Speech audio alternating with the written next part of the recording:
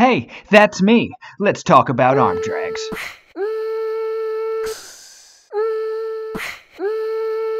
We're doing our first option from the arm drag.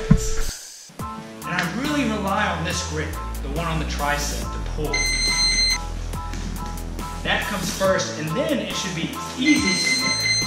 We're gonna anticipate a reaction, right? So when I come here, Mike, what's the first thing you think about doing as you wanna get that arm back? Is it makes him move back. And it should be easy. I pull him in, as soon as our shoulders meet, I start weaving into my underfoot, okay? Now this hand, come to the arm if you want, okay? You come to the leg, just gonna step in and hook and drag behind me.